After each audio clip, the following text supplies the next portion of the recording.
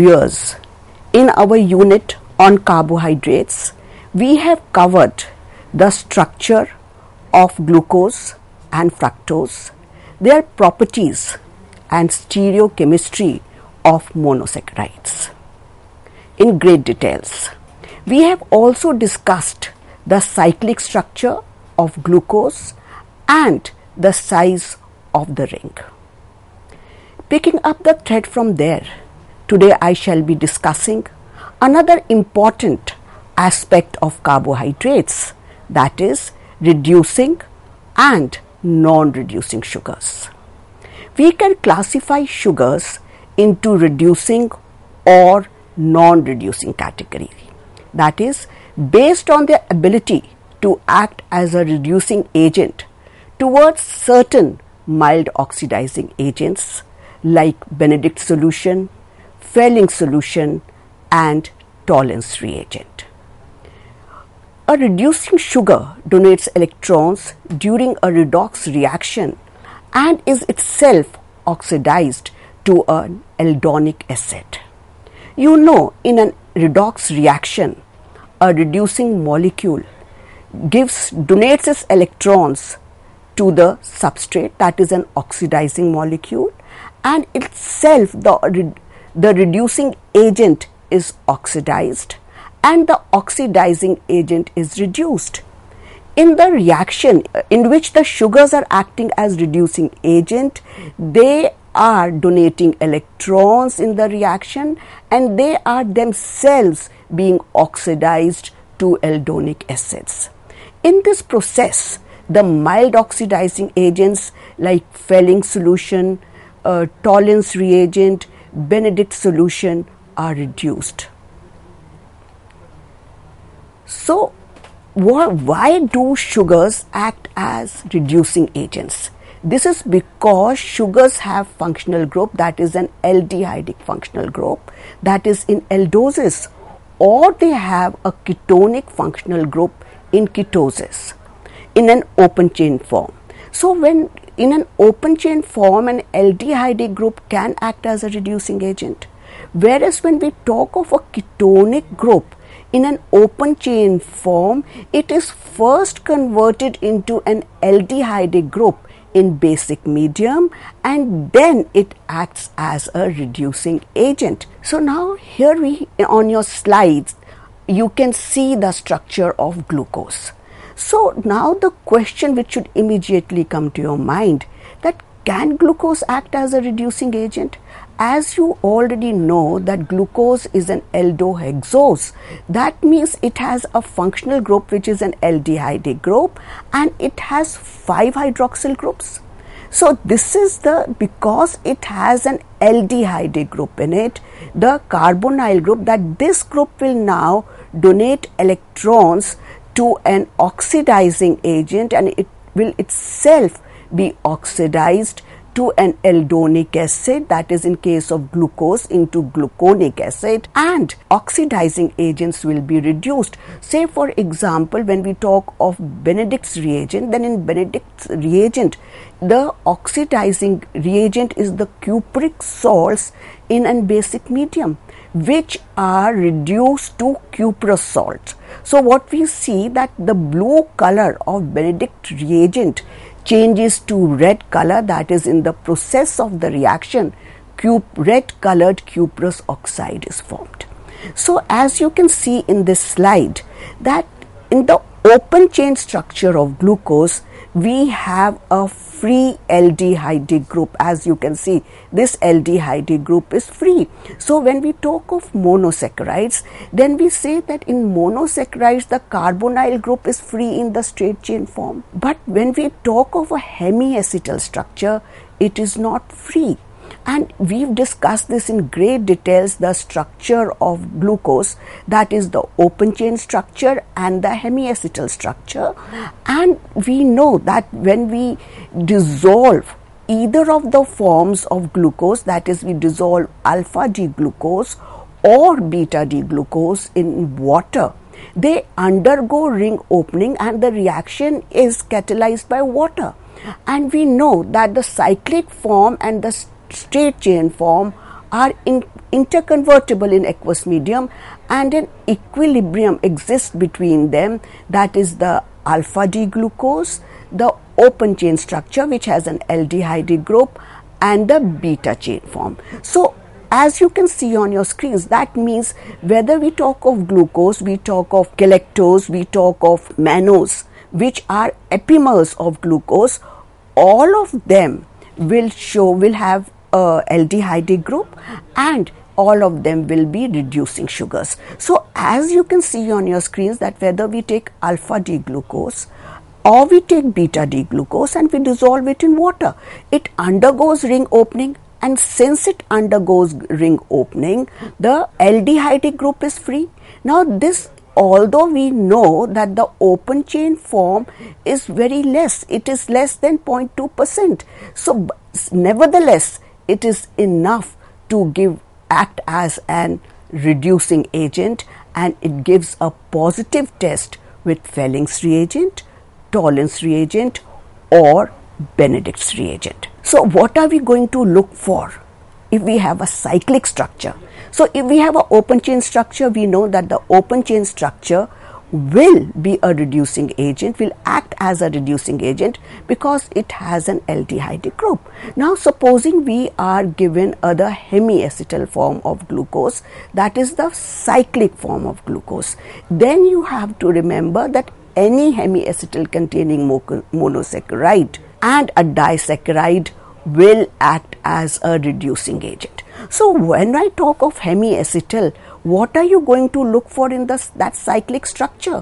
What you have to remember is that the anomeric carbon, that is the carbon which has been the carbonyl carbon which has been converted into hydroxy ether should be present there. That is the ring, the first carbon in case of aldoses and second carbon in case of ketoses in the ring structure should have exist as a hemiacetal or a hemiketal. So for this case, if we talk of a hemiacetal, what we find that the ring carbon should be attached to a OH group, OR group that is an ether group and an H group.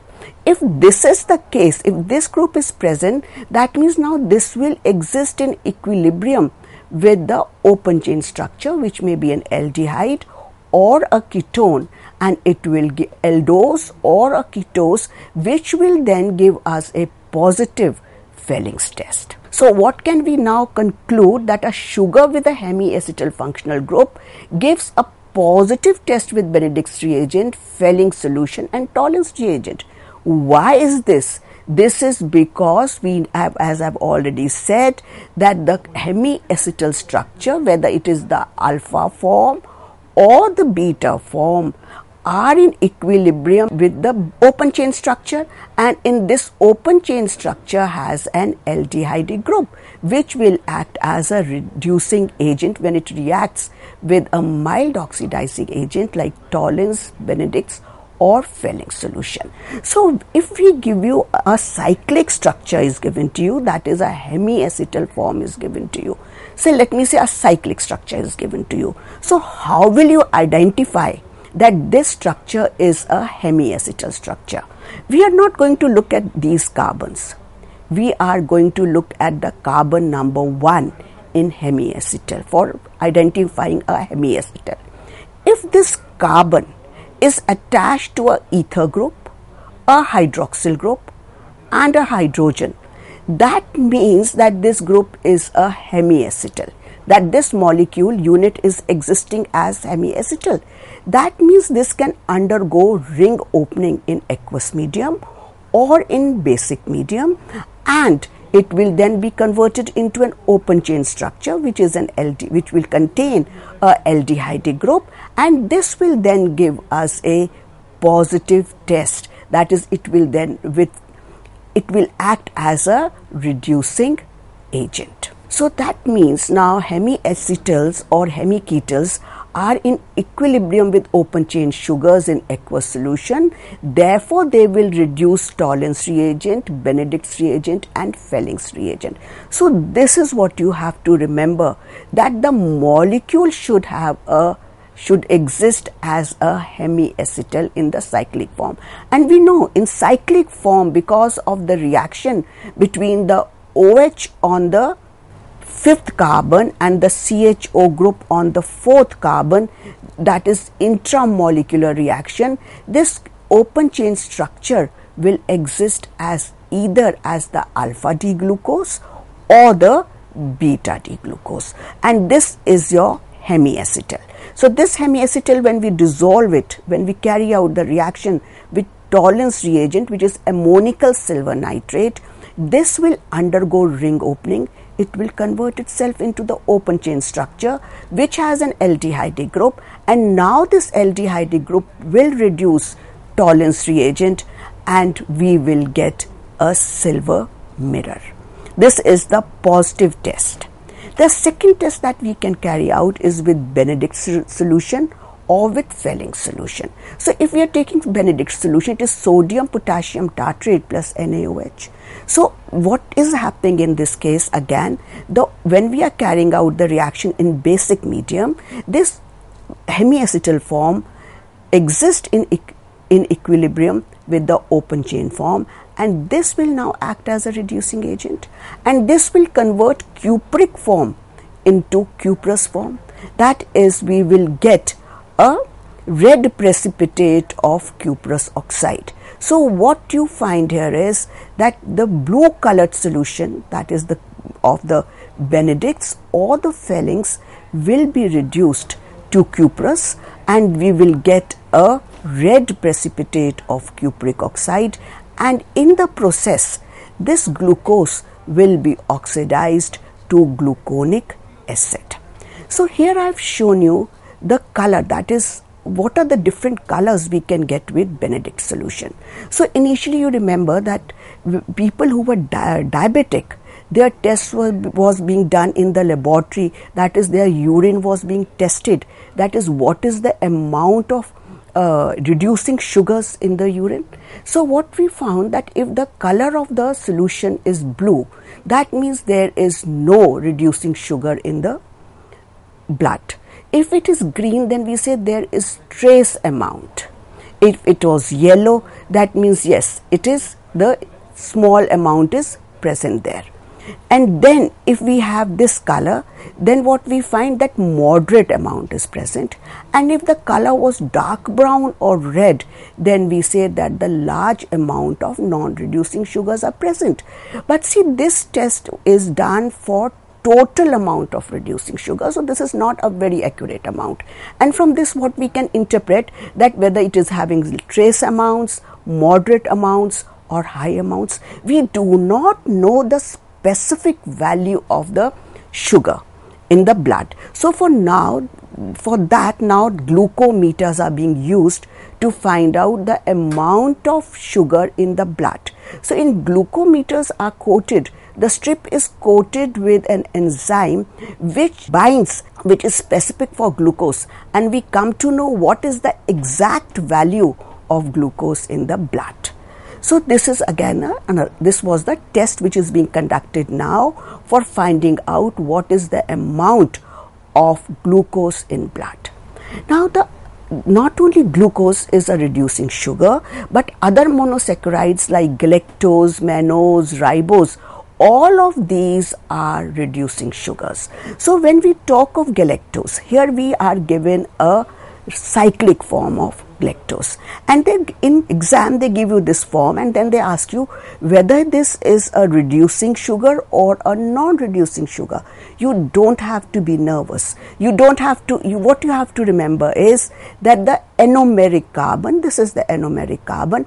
And please remember which is the anomeric carbon? It is the first carbon or it is the carbon which is attached to two oxygens in the molecule so this carbon is the anomeric carbon. So if this carbon is attached to a ether linkage, a hydrogen and a OH group, that means this is existing in a hemiacetal form and in aqueous medium or in basic medium, it will open up to give us a aldehydic form that is the straight chain of galactose and in this the aldehyde will give us a positive test with Fehlings and Benedict's and Tollens reagent. So, but please remember these do not give a positive test with Schiff's reagent because in Schiff's reagent we need the aldehyde in higher amounts. Whereas what we are saying in when we talk of glucose in equilibrium, there the amount of open chain form is very less. And now if we go on to this structure, which is the structure of mannose. So again in mannose, what we find that when mannose is dissolved, it, it reacts with Fehlings or Benedict's.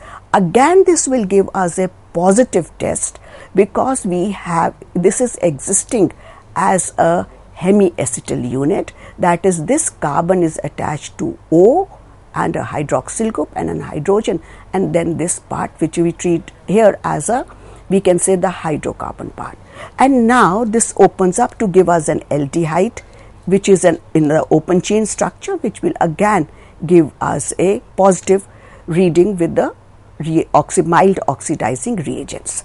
Now these were the aldoses. Let us think of a ketose. Then when we talk of a ketose, we have let us consider the example of D-fructose. And you know D-fructose is a ketohexose and it is also a reducing sugar. Now we should ask ourselves a question that fructose is having a ketonic group and yet it is acting as an oxidizing agent. We know that ketones do not get oxidized with mild oxidizing agents or they do not act as reducing agents. So, what is so peculiar or what is so, impo- so important about fructose or ketoses that they give us a positive test with Fehlings, Benedict's, and Tollens reagent? The reason is that because the carbon adjacent to the ketonic carbon has a hydroxyl group. That is, this exists as a alpha hydroxy ketone and in the open chain form and therefore it will give us a positive test or it will act as a reducing agent. As you can see here in fructose in fructose this group here this is our the ketyl group it is existing as a hemiketal. And now when we have a hemiketal what will happen when we dissolve it in water? It will undergo ring opening. So which is the anomeric carbon here? You will see that this carbon is the anomeric carbon because this carbon is attached to two oxygens that is an oxygen here and an oxygen here. So we say this is hemiketal because it is attached to a OH group a ether group and a CH2OH group that is a primary hydroxyl group and a CHOH group directly. So that means this is acting if you look into the structure what you find that this is existing as a alpha hydroxy ketone in the open chain form and we know that alpha hydroxy ketones have a tendency to undergo enediol rearrangement. That is, this ketone will be in equilibrium with an aldehydic form through tautomerism. So, as you can see on your screens, the open chain form of ketose isomerizes to an aldose through enediol rearrangement and this rearrangement I have covered in great details in one of my previous lectures you can refer to this so when we carry out the reaction in a basic medium, the, the ketose is converted into enediol rearrangement and then this enediol again rea in the basic medium OH acts as a nucleophile base, it abstracts a proton from here and the negative charge on oxygen becomes a double bond here and this double bond that is between the carbon this will go on this carbon and this carbon then picks up a proton and it is converted into an aldose. Now this aldose, now what have we done in the enediol rearrangement, what is happening? That is a keto group alpha hydroxy ketone is being converted into an aldehyde and now we know that this aldehyde will reduce Tollens reagent and what we'll get here is we'll get a silver mirror. So that means all monosaccharides will act as reducing sugars. That is, if it has an aldehydic group in the open chain form or if it has a ketonic group, then ketonic group will isomerize through enediol rearrangement to convert into an aldehydic form and then it will give us a positive test. And if a molecule is given to you in hemiacetal form, what you have to remember is you have to convert that hemiacetal form into a open chain structure and that open chain structure will of course give you the positive test and which is a hemiacetal structure in which a carbon is attached to a OH, H, a ether group and the rest of the molecule, the unit. So that means all monosaccharides are reducing sugars. Now we know that some disaccharides like maltose, galactose and lactose also contain a hemiacetal unit and they are also reducing sugars. That is, they will give us a positive test with Benedict's reagent, Fehling's reagent, and Tollen's reagent. So now, if you look into the structure of maltose on your screens, what we find when we look into maltose, that means maltose is a disaccharide. It is a disaccharide of glucose, alpha D glucose. And what we find that this anomeric carbon is attached to a oxygen, it is attached to a oxygen. That is, it is existing here as an acetal linkage, acetal unit. And since it is uh, existing here as an acetal unit, it cannot open up in basic medium. They are, they are stable. So this molecule is locked here. Whereas when we look into the second unit, then what we find that this molecule, this unit here is existing as a hemiacetal. That is this carbon here, that is the anomeric carbon here, is attached to an oxygen. Again, it is attached to an oxygen, what I mean is to an ether group, to a hydroxyl group, to a hydrogen and the rest of the molecule. So that means it is existing as a hemiacetal. Since one of the unit is existing as a hemiacetal, this unit will now open up in a basic medium.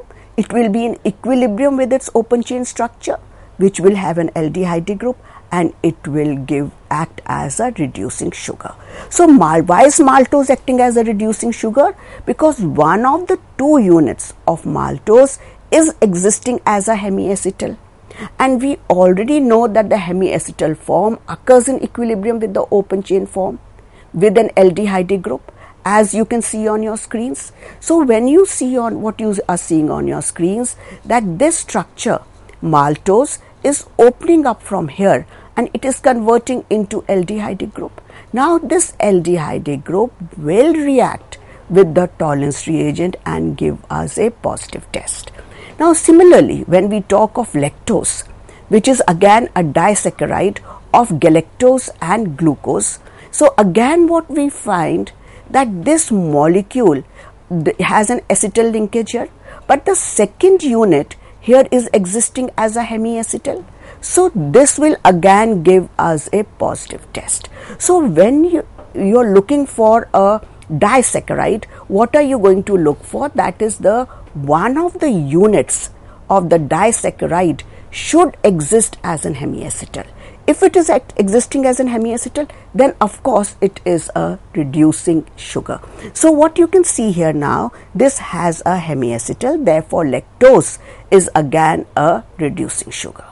Now, what is a non reducing sugar? So, now we know what is a reducing sugar. A reducing sugar is the one which has a aldehyde group in the open chain structure or which has an hemiacetal group in the cyclic structure. Now, in my next lecture, I shall be the second uh, next lecture I shall be discussing the non reducing sugars and then we shall be comparing what is a non reducing sugar and what is a reducing sugar. So, and for this lecture, you can also refer to these references for further studies that is by Carey Francis, McMurry John, Wade, Clayden and Solomons. Thank you.